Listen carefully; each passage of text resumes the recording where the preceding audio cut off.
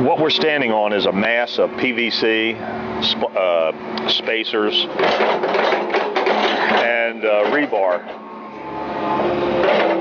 And this goes for 2,500 feet.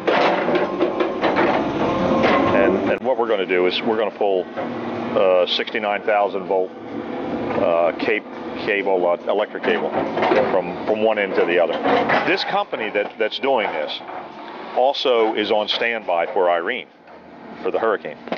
And they've got, they've stolen crews to get this job done today because if it's not done, tomorrow will be a disaster. It'll all have to be done again. We've got a vacuum on the other end right now. It's going to suck that missile right on through.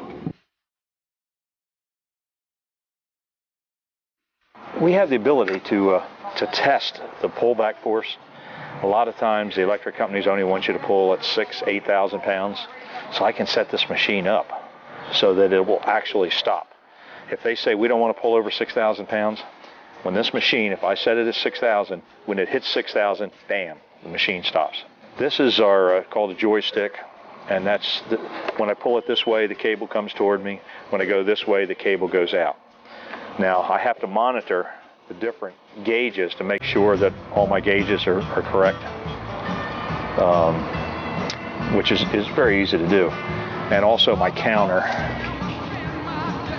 I'm going to set the counter so I'm on zero. What we're doing, we're getting ready to pull the winch line back.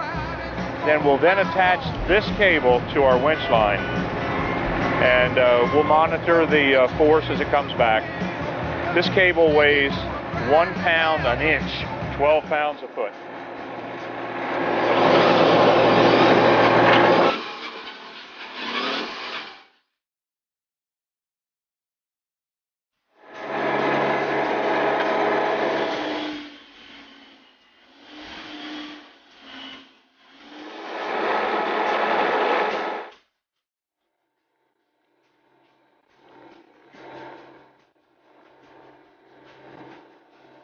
This is it, it's one of the strongest pullers on the market.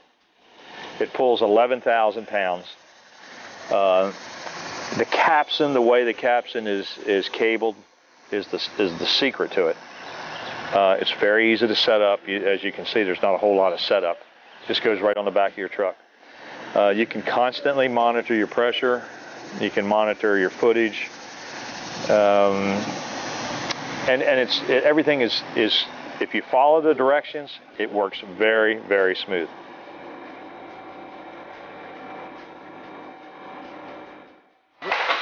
Once again, Larry Anderson, Comstar Supply. If you need anything, call one of our reps or look us up on the website, www.comstarsupply.com.